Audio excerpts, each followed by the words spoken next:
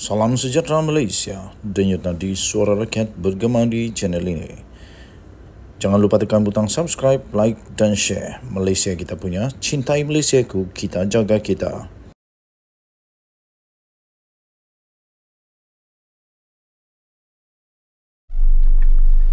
Salam sejahtera Malaysia, denyut nadi suara rakyat bergema di channel ini.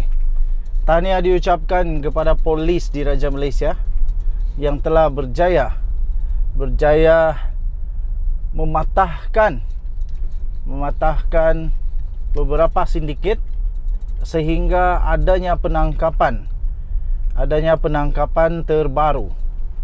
Datuk di antara empat yang ditahan kerana menawar projek berkaitan minyak dan gas di Sabah. Wow. Siapakah mereka?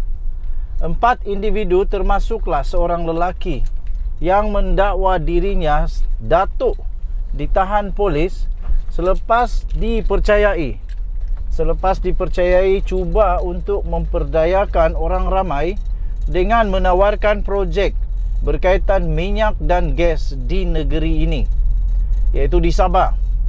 Semua individu itu termasuklah wanita yang berusia 40 tahun sehingga 60 tahun itu telah pun ditahan pada 5 Jun yang lalu selepas laporan diterima mengenai kegiatan kumpulan berkenaan. Ha, ini yang nak saya kata padan muka. Inilah yang merosak segala-galanya. Apatah lagi kalau ini sindiket penipuan. Sindiket penipuan yang ramai bakal tertipu. Ini boleh kita kata scammer lah. Scammer. Jadi, mungkin anda pernah melalui scammer-scammer. Mungkin anda boleh komen apakah pengalaman anda ketika berhadapan dengan scammer. Bagaimana reaksi anda? Anda kasih tipu dia balik kah? Anda kasih kantoi dia kah? ataupun anda tertipu sudahkah ataupun anda menjadi mangsa kah macam mana tapi yang pasti jangan takut apabila berhadapan dengan scammer tenang saja uh, dan jangan sekali-sekali memberikan maklumat-maklumat yang penting seperti akaun kah wang kah uh, nombor telefon kah email kah jangan.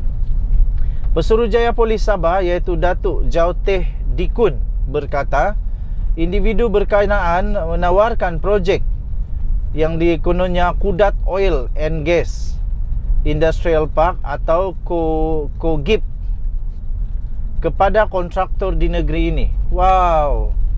Nanti silap-silap kontraktor yang bijak-bijak pun kena tipu juga. Mereka mendakwa menjadi orang tengah bagi mendapatkan projek berkenaan dengan meminta bayaran deposit terlebih dahulu kata ketua polis Sabah itu.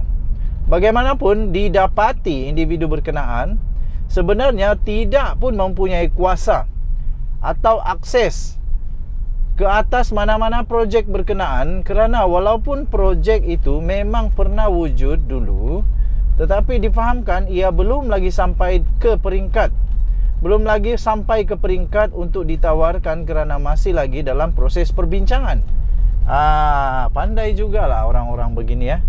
Ekoran daripada laporan itu, tangkapan telah pun dibuat dan semua individu telah ditahan reman selama empat hari bagi tujuan siasatan sebelum dilepaskan dengan jaminan polis katanya dalam satu sidang akbar selepas beliau menghadiri perhimpunan bulanan Ibu Pejabat Polis Kontijen IPK Sabah di Dataran Kawan pada Selasa. Okey, jadi kita ingin mengucapkan tahniah kepada polis di Raja Malaysia terutamanya untuk IPK Sabah yang berjaya mengesan sindiket ini sebelum ianya menjadi parah. Kita mendoakan semoga polis di Raja Malaysia akan dapat terus melakukan tanggungjawab amanah tugas mereka dengan baik. Jangan takut, rakyat support uh, rakyat support segala usaha yang dijalankan oleh polis di Raja Malaysia. Saya percaya Tuhan melindungi mereka semua ini dan pastinya mereka ada tugas yang amat besar untuk sentiasa memastikan negara Malaysia dalam keadaan yang selamat dan harmoni. Kita jumpa lagi. Bye bye. Salam sejahtera Malaysia. Denyut nadi suara rakyat bergema di channel ini. Tuan-tuan dan puan yang dihormati sekalian, akhirnya yang paling ditakuti oleh pemimpin-pemimpin Perikatan Nasional, yang paling ditakuti oleh Muhyiddin menjadi kenyataan. Nasib baik bukan Muhyiddin yang kena kali ini. Nasib baik bukan Hadi Awang yang kena kali ini. Bukan juga Azmin Ali yang kena kali ini. Tetapi dikabarkan kali ini yang kena ialah Hamzah Zainuddin sendiri yang mana kita tahu beliau telah dikaitkan oleh seorang tokoh businessman jutawan di Malaysia ini yang mengaitkan beliau dengan rasuah dan akhirnya lembaga hasil dalam negeri LHDN telah menyerbu rumah Hamzah Zainuddin yang mengejutkan ialah penemuan-penemuan yang mungkin telah ditemui di sana nanti. Lembaga uh, lembaga hasil dalam negeri atau LHDN telah dilaporkan sudah membuat serbuan ke rumah Ketua Pembangkang Perikatan Nasional iaitu Hamzah Zainuddin di rumahnya di Damansara di Kuala Lumpur. Ketika dihubungi, sumber yang dekat dengan kepimpinan bersatu telah pun mengesahkan dengan berita serbuan daripada lembaga hasil dalam negeri itu. Katanya, ya, ia serbuan telah dibuat semalam. Kata sumber itu kepada Malaysia kini. Tuan-tuan dan puan yang dihormati sekalian, terdahulu laporan The Star dan Free Malaysia Today telah memetik sumber sebagai berkata mendakwa lembaga hasil dalam negeri LHDN telah pun menyerbu kediaman ahli parlimen larut itu. Kemudian The Star pula melaporkan serbuan itu diadakan pada pagi semalam sementara laporan Free Malaysia Today menyatakan ia dibuat malam semalam. Menurut laporan The Star, serbuan itu dibuat ekoran daripada dakwaan cukai pendapatan yang tak dilaporkan.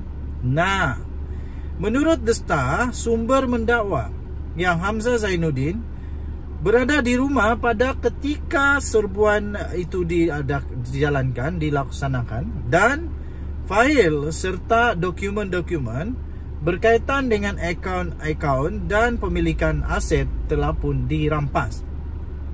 Sumber yang dekat dengan Hamzah Zainuddin juga dipetik berkata ia merupakan tindakan bermotifkan politik oleh pihak berkuasa memandangkan pemimpin bersatu yang sentiasa merekodkan cukainya.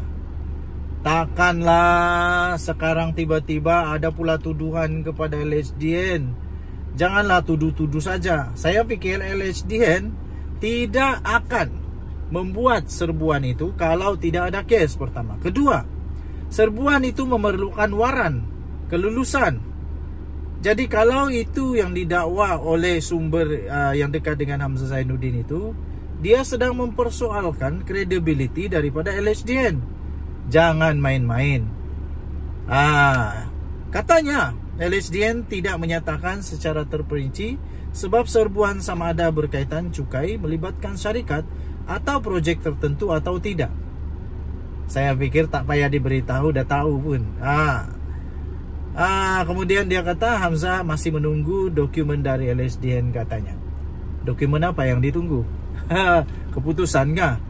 Takkanlah Hamzah Zainuddin tak melawan kalau tak ada kuasa daripada LSDN, tak ada diberikan kuasa, surat waran kah? Takkanlah dia tak lawan. Jadi dokumen apa yang dia tunggu?